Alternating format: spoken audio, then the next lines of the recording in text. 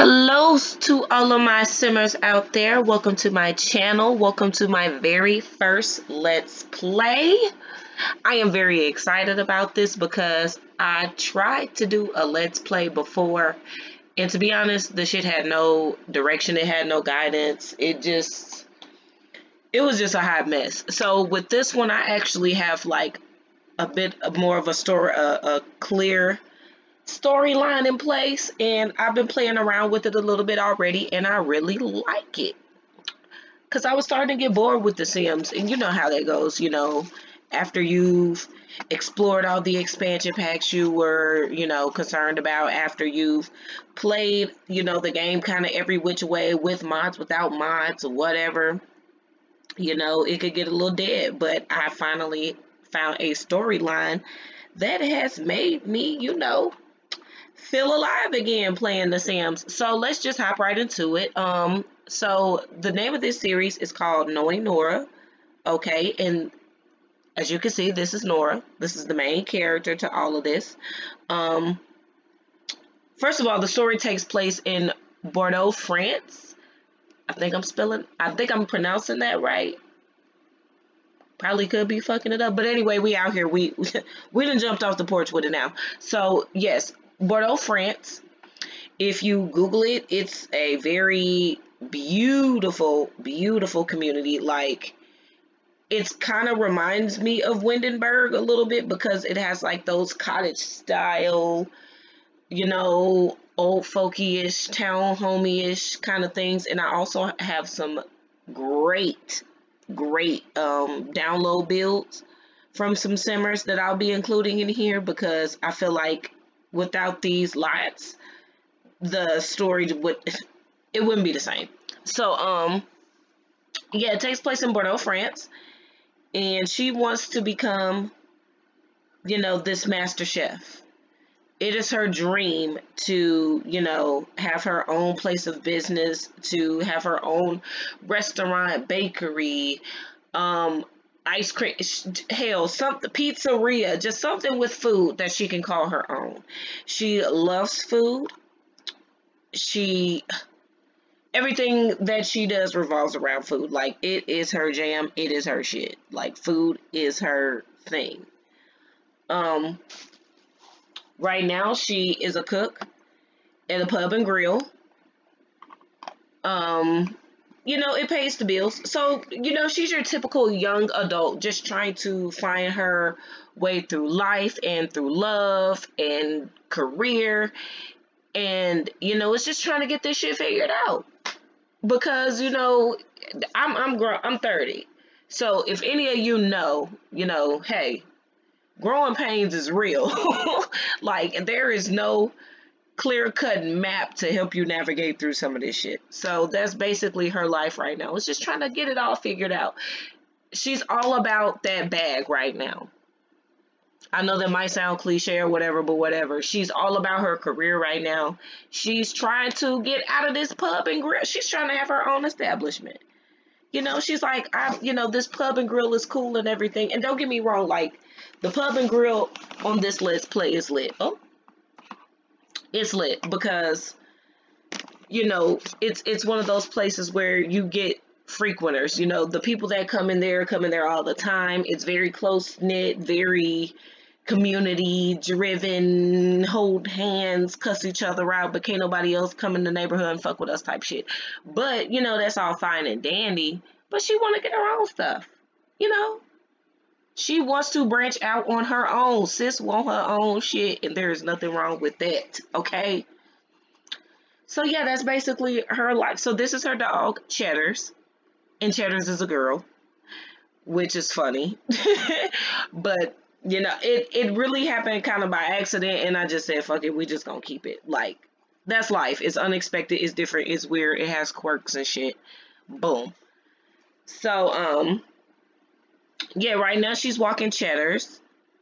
We'll introduce you to the rest of the gang. But yes, a little backstory on her though. She and her cousin, who is in the house with her, she's right here, Miss Quinn Nesbitt. Her and her cousin grew up with their grandmother in um, Bordeaux. You know, it, it, it, they grew up a little rough, but you know, not not too bad. You know, working class. I wouldn't say too working class because what's interesting is the townhomes that they live in is where they grew up. It's just that they literally took took them and pretty much renovated them. But yeah, the townhouses where they currently live is where they grew up. It's it's where their grandparents ra- grandparents and parents raised them. They've basically just taken it and renovated it. But anyway, her and her cousin Quinn grew up with their grandmother, and that's where Nora got her, you know, love of cooking. is from her grandmother, because you know, money's tight. Ain't no going out to eat and going on these fancy restaurants and all that shit you know, you're going to cook what you have at home and you're going to make the best of it. And that's pretty much where she got her love of cooking from. Quinn, Quinn was pretty much, you know, Quinn was the fun loving hippie, but the wild child at the same time. Like she's a hippie, she cares about the environment, she cares about peace, love, inner growth, all of that stuff. She's the very Zen chi, you know, let it float off your back. Don't carry it with you, cousin. But at the same time, she's with the shits, you know. Don't put her in a box. Basically, you know, Quinn, you, you, you can't box her in. You know, there's there's no clear cut kind of direction as far as her personality goes. You know, you can get a little bit of everything when it comes to Quinn. So yes, so right now she's walking the dog Cheddars everybody else is at work. Um, when they get off, I'll introduce you to them. Um, basically, you have Quinn. Like I said, that's her cousin. She grew up with her. Um, then this is Kami. Kami is the best friend. So Kami grew up um, in the apartment next to Nora and Quinn and they've basically been best friends since second grade. So the three of them became thick as thieves, but you know, around high school, senior yearish, Quinn and Kami decided, okay, this is a little deeper than friendship. This shit is feeling a little bit like love. So, you know, they've been together and now they're married, they're newlyweds. So they're in that phase where, you know, the honeymoon phase is still there, but it's kind of wearing down, you know. The and they're really oh she got to pee. It's they're really starting to experience, you know, oh, married life. It's it's really starting. The shit's really starting to sink in, basically. And then you have Darren. Let me take you over to Darren. Okay. All right, slow as hell. so this is Darren. Okay, he in his pajamas. So Darren is Nora's friend that she met in college. Nora is a college dropout. You know, shit happens. I too am a college dropout. And hey, always say go to see. I always say people that say, oh, it isn't for me.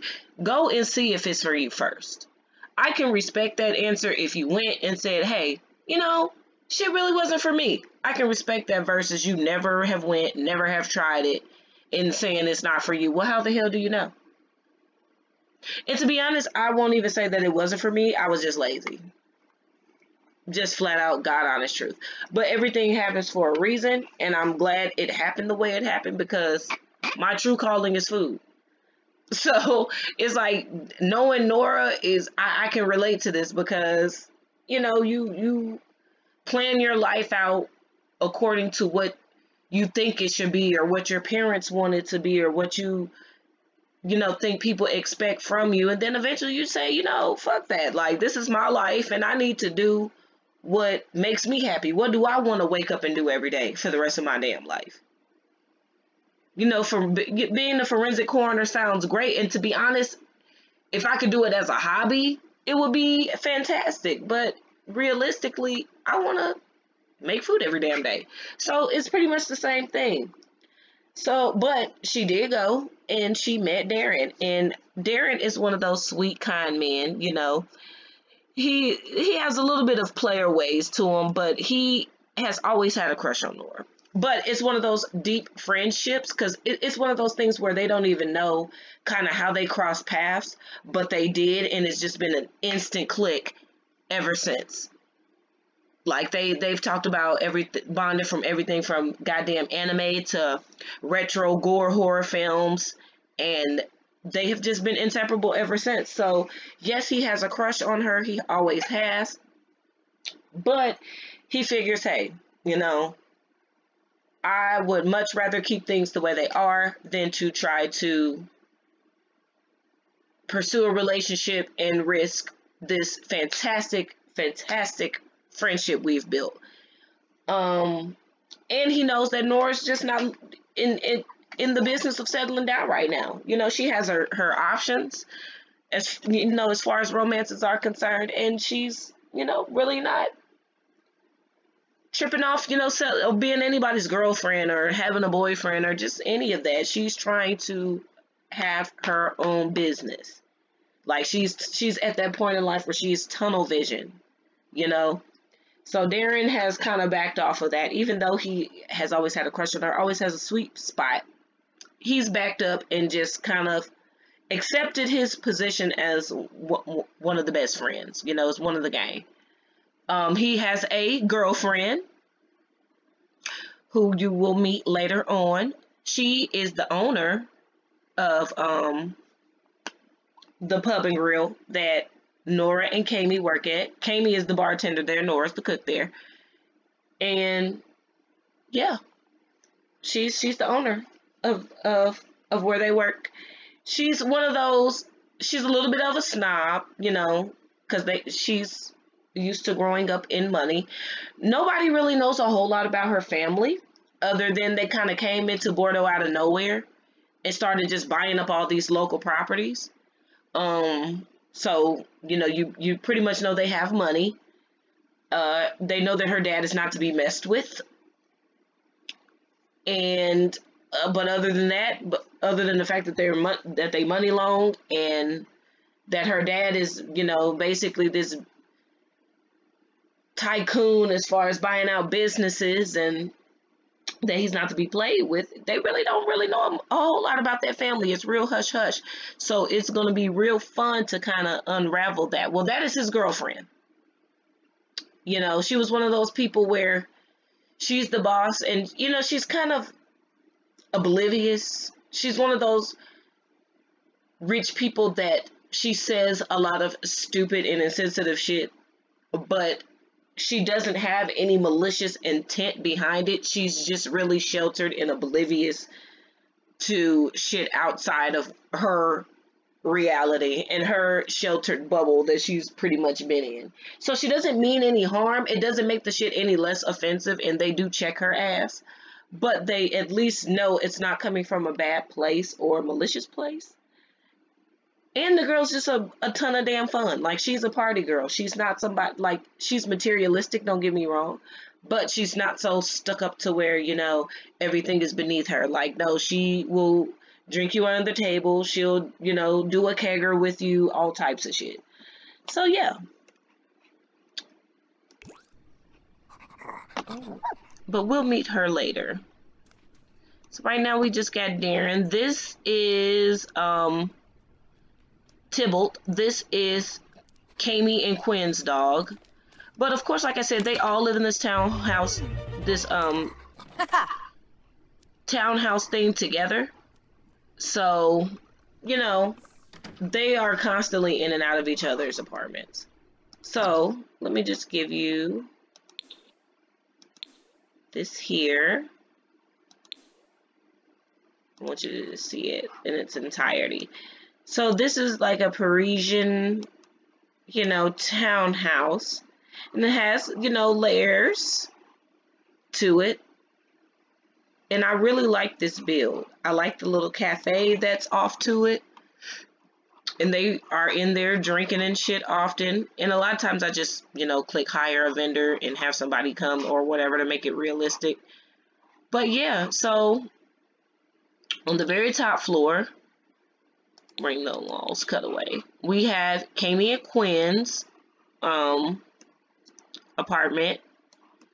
And like I said, this is where Kami and her mom and dad, this was their apartment when she grew up.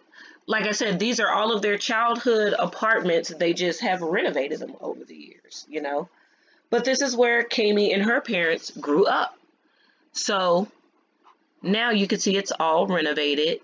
You know, they got the bath, half bath here, kitchen, full bath, and then this extra bedroom. So this used to be Kami's room. So that used to be her room, and this used to be her parents' room. But like I said, they've renovated it. Things have been, you know, kept up because they've been in this building a long time. So, you know, between renovations that the building owners themselves have made, plus their own renovations, you know, they've done pretty all right. Um, this extra bedroom is like this for a reason. Kami, Quinn wants to adopt. Quinn wants a family. And even though Kami is like, we are a family, like, even though it's just me and you, we are still a family, even without a kid. It's not that Kami is hell bent against a child, it's just that she's at a point in life where she's just not quite ready for it. She feels like she feels like there's more living left to be done before they take that step. Whereas Quinn, she's like, look, who's to say we'll even live you know, another day. She, you know, like I said, she's very spiritual. She's like, you know, tomorrow isn't promised. so she uses that kind of narrative to be like, hey, you know, what are we going to be in our 40s and 50s trying to, you know, chase kids around? You know, we're already, you know, coming up on that 30.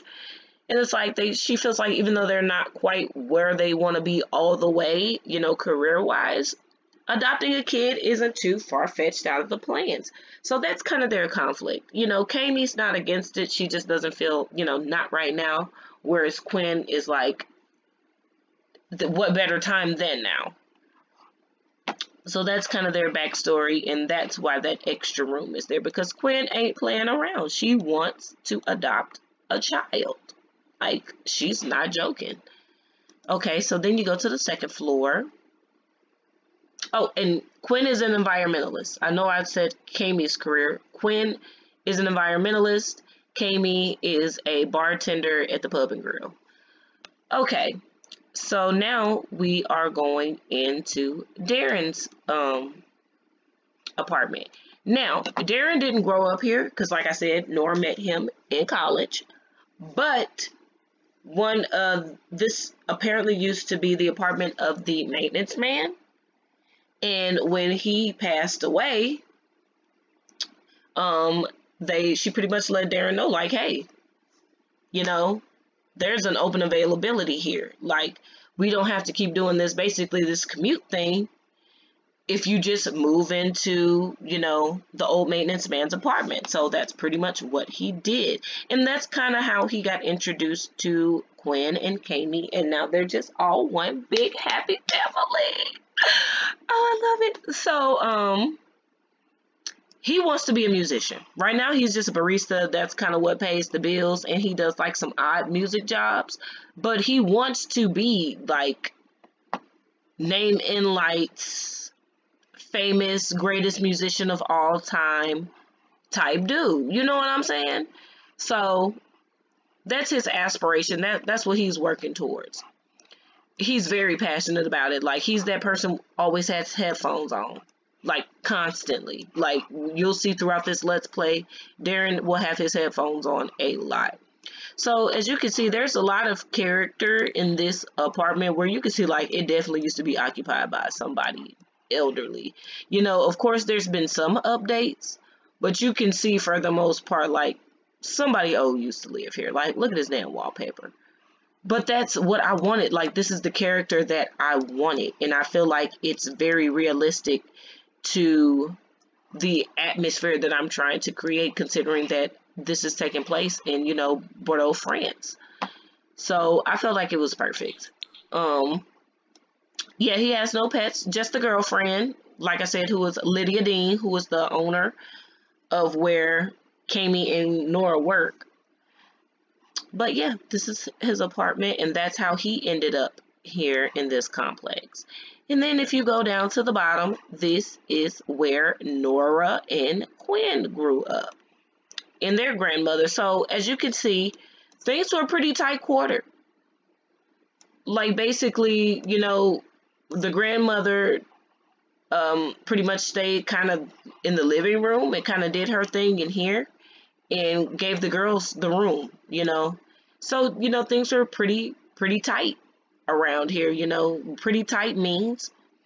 But, you know, as you can see, they've renovated it and turned it into something beautiful. And I think there's something great in that, in taking something that once was a symbol of like hardship and once you've been able to live and make it through that and see past that see it turned into something beautiful and just magnificent and something you could be proud of. So i feel like it's just such a i feel like it was a good idea to keep them where they originally grew up just you know make it to where it's been renovated because I feel like that has so much character to it. And then they will eventually branch out. Just to give you guys a few spoilers, you know, eventually everybody will branch out on their own, but how and when? Hmm, guess you'll have to subscribe and like and stick around to find out. Okay? So yeah, that's pretty much, you know, everybody's apartment. Then you go over here like I said, this is the little cafe connected. They um, always grew up in this cafe. This has always been around. So this is a link up spot for them often. I mean, because damn, it's connected right to the damn building. I mean, you can't beat it. Wake up, take your ass downstairs, go get, you know, a fresh espresso, a scone or some shit. And, you know, call it a day. All right. So let's, there we go.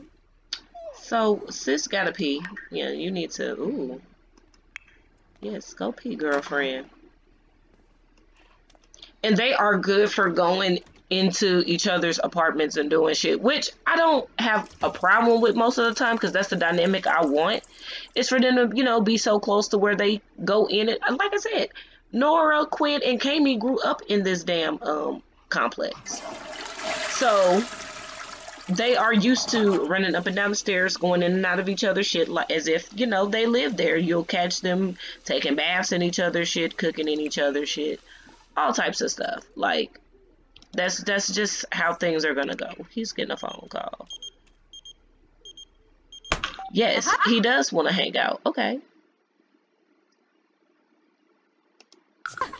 So now you're gonna see a little bit of Dean's life. So I told you his girlfriend, Lydia Dean, um, her dad owns pretty much a lot of the local businesses in Bordeaux, just came out of nowhere buying up shit.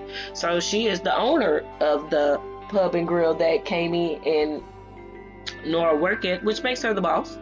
But like I said, you know, she's not she's not your typical stuck up rich girl. You know, she does have a lot of their ways, don't get me wrong, because there's just some obliviousness that comes with being sheltered all your damn life. But like I said, unlike most of the mean girl narratives they have for the rich girl, she has no malicious intent. She's really just slow as hell. Um, so yeah.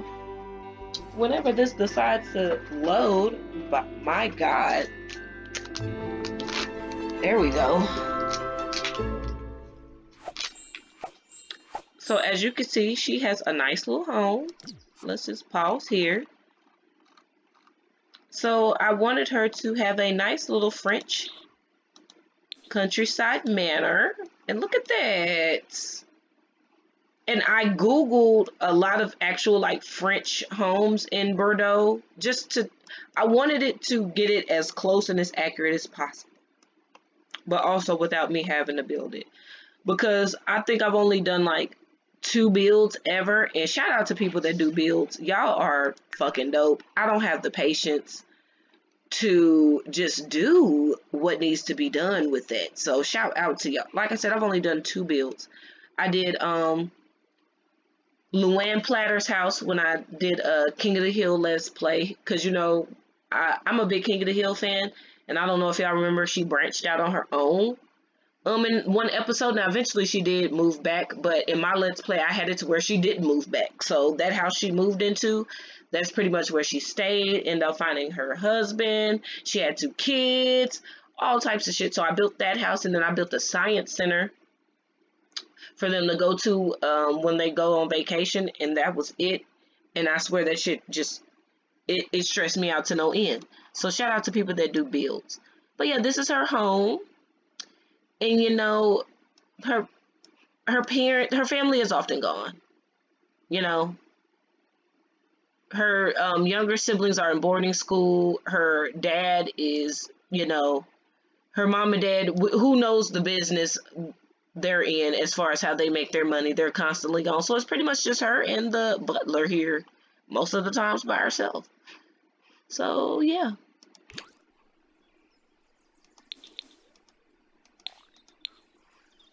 So let's talk to her, you know, hey, it's your girl, you know. And he's very caring. Uh-huh. Give a pep talk. Oh, Afred. Oh. Maybish Watosa. Oh. Rob, Dimble. I'm just saying how her day was. Gibbs. Ah, it was about interest. Do some romantic shit, you know. So yeah. Compliment appearance. You look nice, babe. You look good. Bro, You look at you looking like yourself. Mm. Mm-hmm. Varosh. Green. Profess undying love. Wamba boy Saquinario. Okay, it's funny because I do um oh add me on origin my gallery is uh deliboo underscore 09 D-E-L-I-B-O-O underscore 09. Um I do I do a lot of creative sims.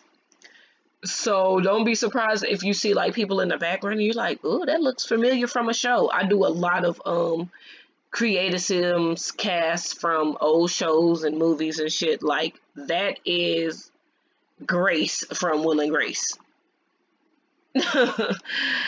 so yeah. Like I got Proud Family, I got Living Single, like pretty much just a wider range of different shows that I used to like watching growing up, they'll be in here. So yeah, don't be surprised if you see like Stu Pickles or some shit. Like, is it, it, it, it'll get weird around here. Shit. Arvinese also. Blah Hoyatha. And then I'm kind of a pervert. It's like, let's go home. You know, I know why you called me over here.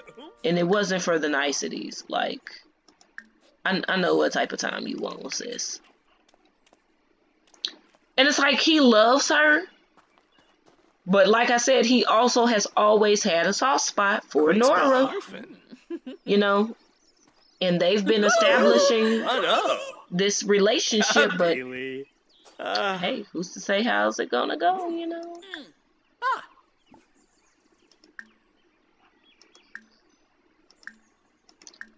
Okay, it's not woohoo. Woohoo in the bush. Woohoo in the bush then. And this is weird, like, I'm already over your house. Oh, yes. Mm. Like I said, Lydia is not your typical, like, rich girly girl. Like, she's with the shits. She's with them. Okay, I didn't know it was going to take this long to make Whoopi.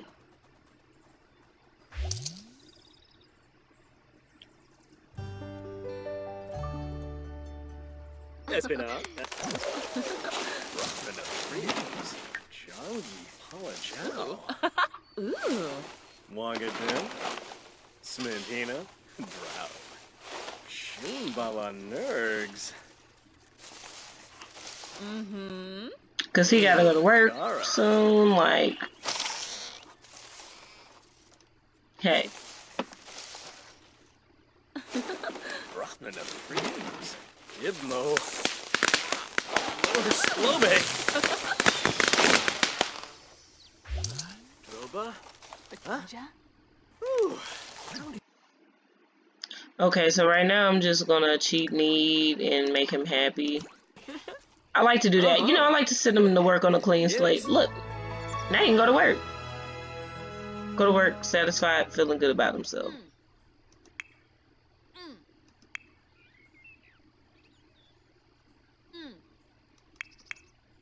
Ah!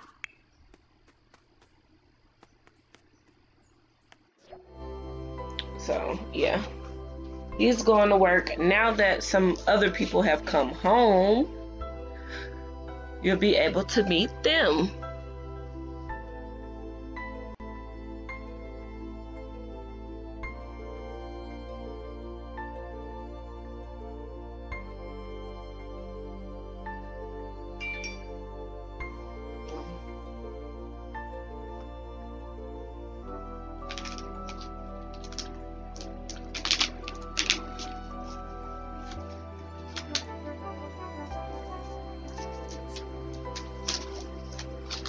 You'll be able to do that.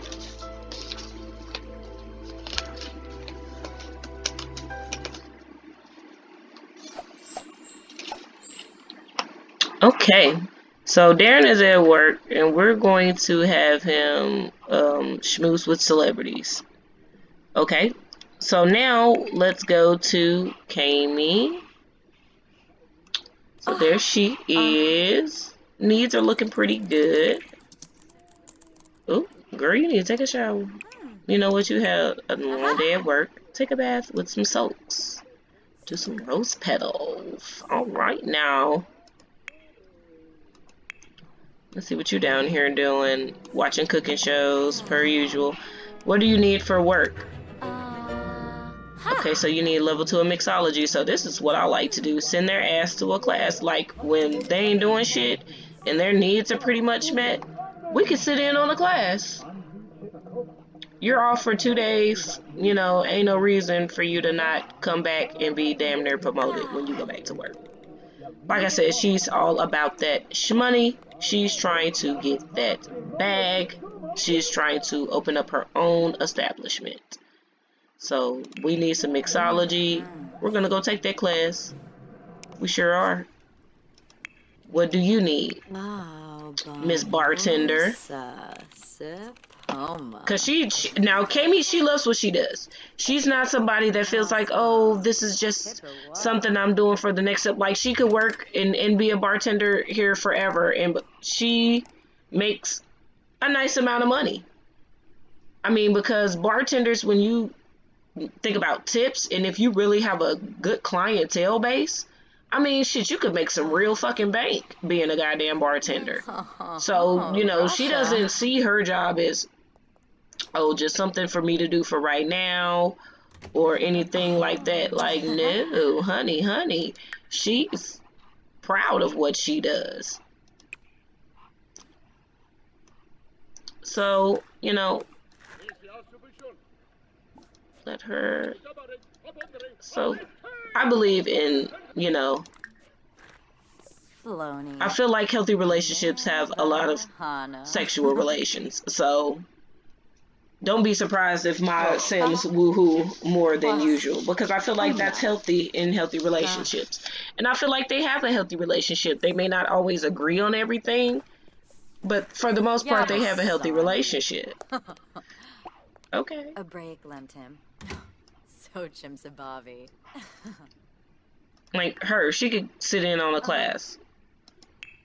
Because she wants to be the best damn bartender around. So, guess what? They gotta have the skill for it. Shit, I might send everybody to a damn class. She needs to go to that class. What do you need for your career? Send your ass to a class, why don't you? Don't care about you being sleepy. Everybody's going to a class.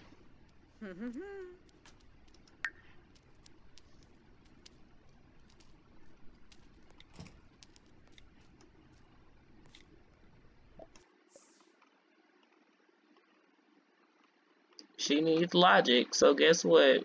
We're going to go freaking get it. Say less.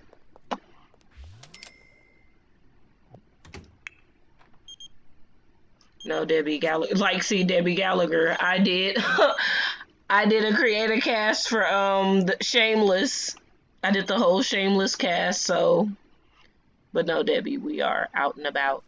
But that will, you know, be it for this first Let's Play. I don't want to make it too long. I just want it to be kind of an introductory to myself and to my very first Let's Play. And the next one, though, will be lengthy.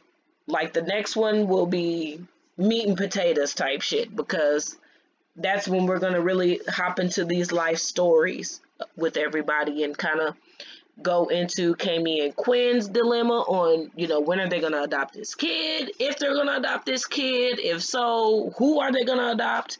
Then we're going to go to Darren. You know, he's really fallen in love with Lydia. He never saw himself with a girl like Lydia.